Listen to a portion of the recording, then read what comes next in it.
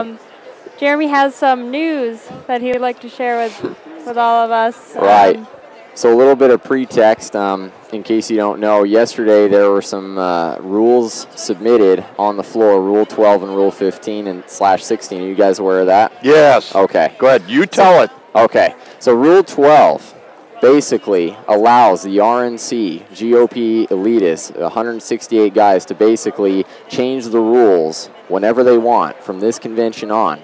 In other words, to put it simply, they get to change the goalposts and the rules in the middle of a game which is not fair.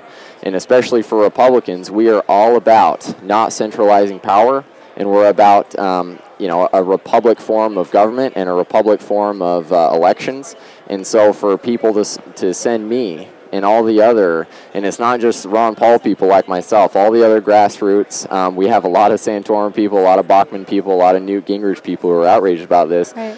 When those people back in our state send us, we have an obligation and responsibility to them to spread the message that they want what we want. That's why they select us. And what Rule 12 does is it allows them um, to basically change the rules and undermine what we're doing. 15, 16 um, also um, basically gives the head campaign or the RNC the ability to cut delegates that um, that they don't that they don't want at the convention. It happened in Maine.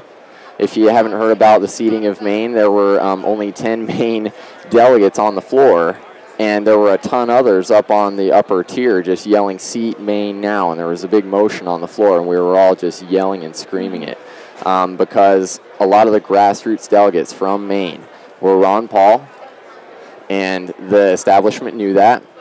They sent in and and uh, not only um, you know uh, took their credentials from them, said you can't be Ron Paul delegate or you can't even be delegates to attend at the RNC. They also placed Mitt Romney delegates in their place. And um, and I know for Maine and many other states, um, you know, some of us in Colorado, Texas, um, I- you know, I got 15 states in my cell phone I could read off, are very outraged, and we are backing those Maine delegates. And that is just one example of you know a, a grassroots organization that said well, these are our delegates. We're sending them to the RNC. The establishment says no, we don't like them. We're going to put in our own delegates. And if it happened to Maine, Rule 12 and Rule 15, it can happen to anybody, and that's the message that Wow. we're giving out. I mean, does the Republican Party really need to be doing something like this? Uh, it's just the Absolutely. worst time to do it. Absolutely, and it's a really important note too. I said this at, at a delegation breakfast right after Matt Romney spoke at the Holiday Inn at Clearwater. There was 80, 85 people in there, and I made a point of clarification that Ben Ginsberg, Yes. the head lawyer for Mitt Romney, is the man who submitted these rules to the GOP, and so. In other words, Mitt Romney's campaign was behind the whole entire central power grab. And, you know, Yeah, and- that's a that's a breaking story. I know That is that, a I know that breaking Red. State. Uh, I know that Erick Erickson uh, wrote about it this morning. I read his piece. Mm-hmm. Uh, I got a, a dozen emails last night. I sent them off to uh, several people I know who are here, who are delegates, uh, including the head of the, the party of uh, Republican Party of Sarasota, saying, "What the heck are you guys doing? Yep. Why do you want to anger the base? Yeah. Why are you trying to create? Why are you segregating? Why are you creating different classes within the party and excluding those classes based on this these, these rule changes? Why do this now? yeah. And, uh, first of all, why do it at all? And then certainly the political timing of this is absolutely ridiculous because it distracts. And, and, and Mitt Romney's going to be he's going to be nominated. Right. You know, he's going to have enough delegates. Right. Why do you want to do this? Well, Yeah. You've already Absolutely. won. Yep. Absolutely. You, why do you want to change the rules after you've won? Yeah. You don't need it. You don't need the extra couple of people from Maine or whatever it is, thirty or forty. Right. You don't. You know, and and and you're going to do nothing but aggravate Absolutely. the base. And you're right. And a lot of us have been talking about that in all the other states, and Colorado specifically. Colorado has a liberty revolution going on. People don't know how big of a liberty movement there is. There are so many Tea Party people in Colorado. There's Campaign for Liberty. There's all the meetup groups. I can't tell you how many different things are happening, and um, and it's growing. And that is the growth of the Republican Party, and that is the base and the grassroots, like you said. And again, it doesn't undermine just Paul delegates, even though we would argue there's been a lot of mistreatings and abuse. It undermines the whole message of what the Republican Party should believe in. Yeah, it's it's it's fundamentally the antithesis of what Republicans are saying publicly. They want less government, less control, more control to the people, Yeah. and yet within their own delegation, Yeah, they're they're power grabbing. we don't even have it in our own party. Yeah, and that's that is a story that uh, that has that has very bad uh, connotations, and is something that you know after uh, uh, Ann Romney's speech last night, which was so wonderful. Speaking about love, why do you hate these people? Why are you hating people this, Right. this morning? Right. Why are you why are you pa- passing rules that actually segregate? Well, people? and if you want to, so there's even more particulars about those rules, and this is very, very important. The man who is leading the charge, who is supposed to lead the charge against these rules, is named Morton Blackwell. He is the one who, you know, with all the other um, people on rules committees, wrote what's called the Minority Report. yes, the minority. Report. Right. Tell us about that. What does that mean? So the Minority Report was was signed, documented, everything it needed to have to give to the RNC chair to put on the floor. Morton Blackwell was the man from Virginia with all of his Virginia delegates, and it was funny because on the floor, Colorado is right across the aisle from Virginia, and I met up with a couple of Ron Paul guys from uh, from Virginia, and I look over, I'm like, where where are all your Virginians? They're like, they're stuck on a bus with Morton Blackwell, and I was like, where the heck is Morgan Morton Blackwell? And they said he's on a bus and he's being held. He's not let allowed into the convention yet. So the story, the official story of what has happened is Morton Blackwell, in his bus with all of his Virginia delegates, who was leading the charge, um, was basically played with and toyed with, and they would not allow him in any of the checkpoints. And they sent his bus on just basically a joyride for an hour and a half. And what he was coming for is they were having a small rules committee meeting apart from the convention to spare an embarrassment on the floor. Like, let's come to some reason. We can compromise this. We don't have to have a floor fight. And if you know Morton Blackwell, he's been in the party for 25, 30 years. He's been going to the RNC conventions forever. Um, so, you know, he's been around a long time.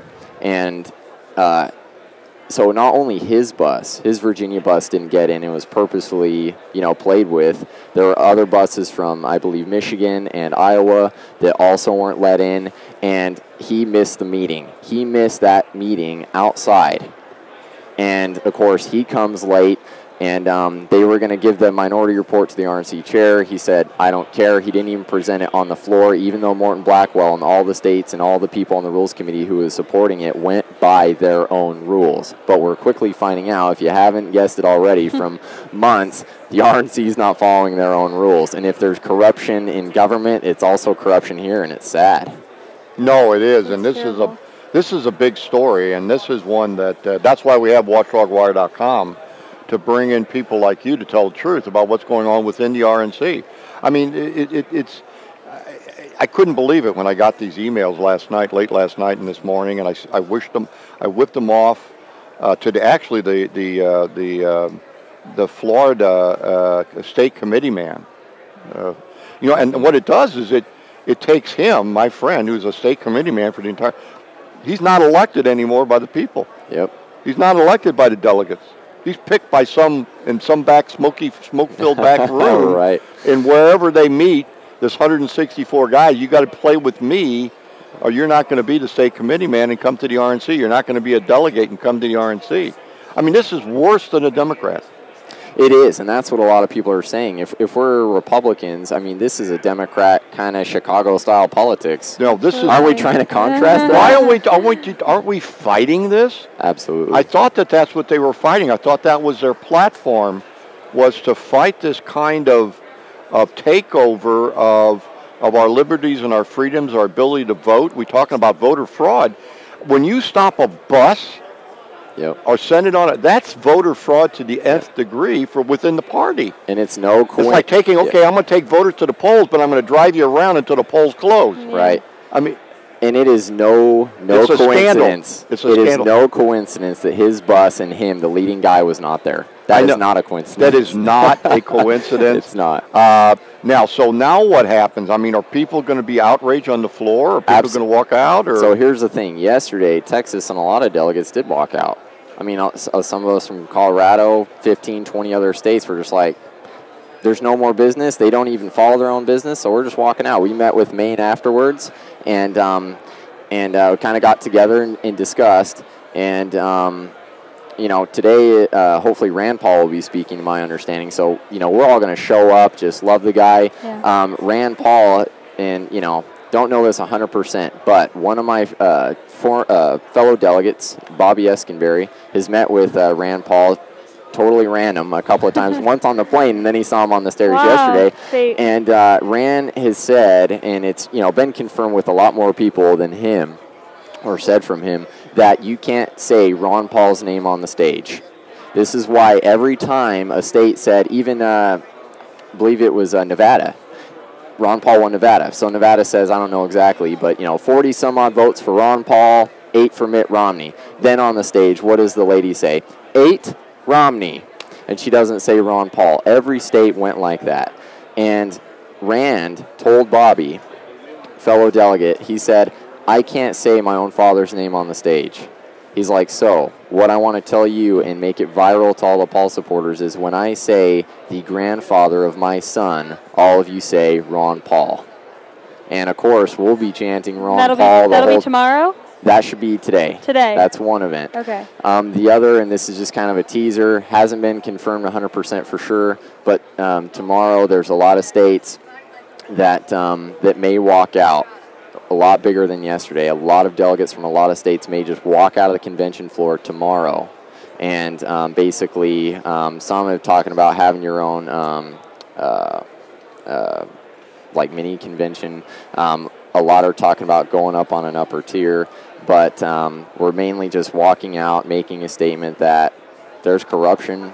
We don't want a part of it. We went here all by the rules to do what we're supposed to do, playing by your rules, being civil, being professional, and and uh, and you're totally just blowing over and steamrolling everything we're trying to do, and uh, so just making a statement. So that's kind of a teaser for all the media Absolutely. and everybody for to show up. Thank you Yeah. for sharing. thank you for doing.